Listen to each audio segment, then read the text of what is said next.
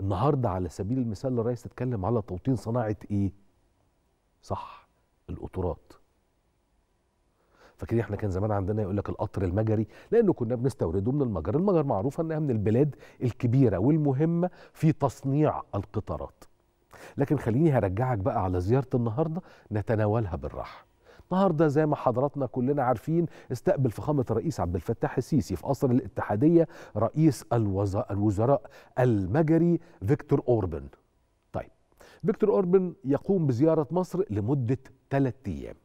في جلسة مباحثات منفردة ما بين فخامة الرئيس السيسي ورئيس الوزراء المجري. بعد كده الجلسة تم توسعتها وضمت بقى الوفود الوفد المصري من جانبنا والوفد المجري من جانبه.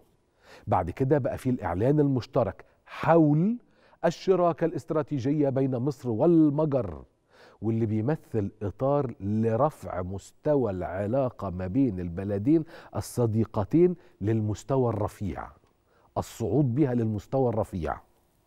وأعقب الإعلان ده مراسم التوقيع على مجموعة بقى من مذكرات التفاهم ما بين مصر والمجر في قطاعات التعليم والتدريب في مجال الاستخدامات السلمية للطاقة النووية. واحد. اثنين الشباب والرياضة.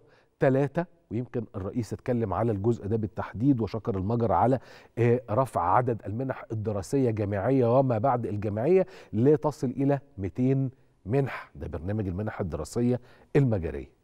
في المؤتمر الصحفي المشترك أكد فخامة الرئيس السيسي أن الإعلان عن ترفيع العلاقة بين البلدين إلى مستوى الشراكة الاستراتيجية جاي بعد ما وصلنا كبلدين من إلى تفاهم مشترك واحترام متبادل فضلا عن توافق سياسي إزاء الكثير من القضايا الدولية.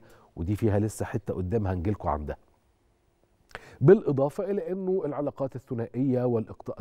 الثنائية الاقتصادية ما بين البلدين علاقة ممتازة. خصوصا خد بالك بقى الاستثمار في المنطقة الاقتصادية لقناة السويس.